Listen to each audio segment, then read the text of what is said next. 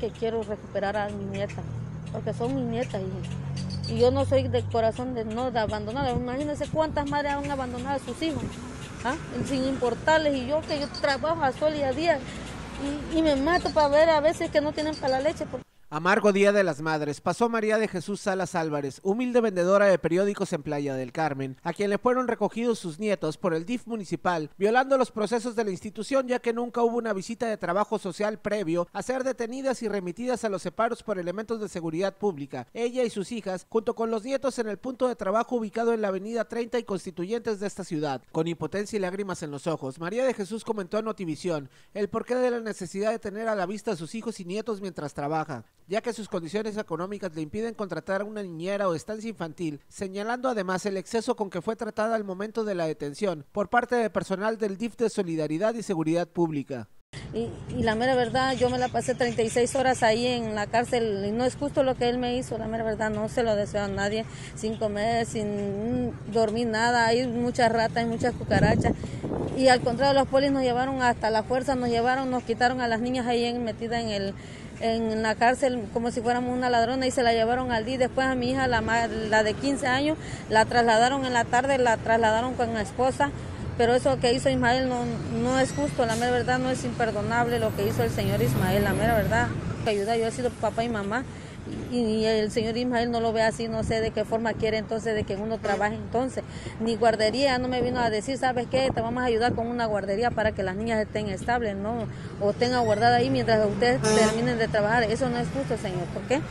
Porque el, Ismael no, no, es un hombre ahora sí de, de, tenerle una confianza y yo no le tengo confianza ya al señor Ismael. Después de lo que me hizo, yo quiero que también él me reciba un castigo lo que yo, yo recibí, la verdad, sinceramente porque no es justo, pues, no, cabe de que me haya venido y me levantó como si fuera yo un animal y ala, vámonos porque te vamos a llevar y aquí vas a hacer lo que yo diga, si no te vamos a dar con la macana. Duro, hasta nos obligaban.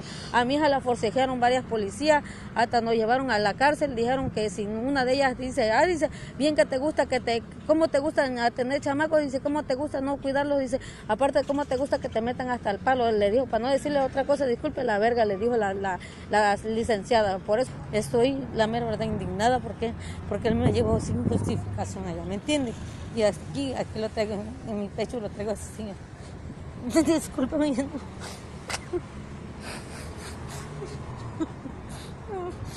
No es justo lo que me dice el señor. Maldito. A mí, y mega. Mega trata de la cárcel como un animal. No es justo. Aparte, no fue dijeron, no es justo, no.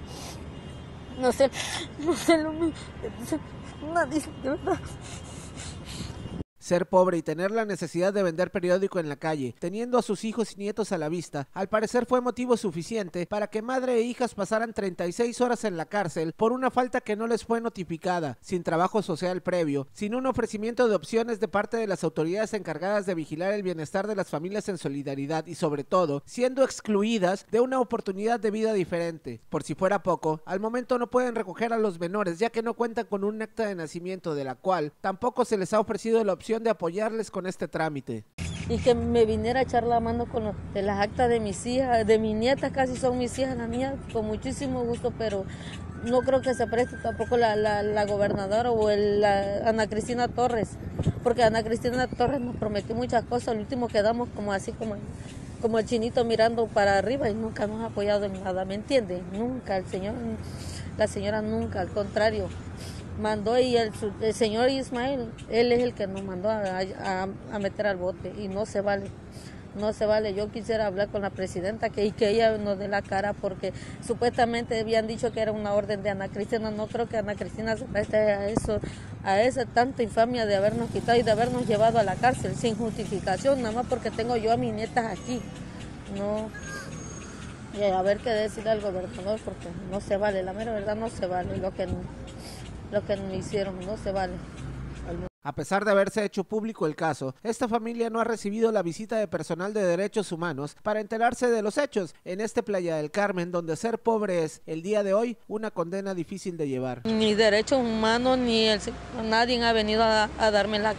Reportando desde Playa del Carmen, Eduardo de Luna para Notivisión.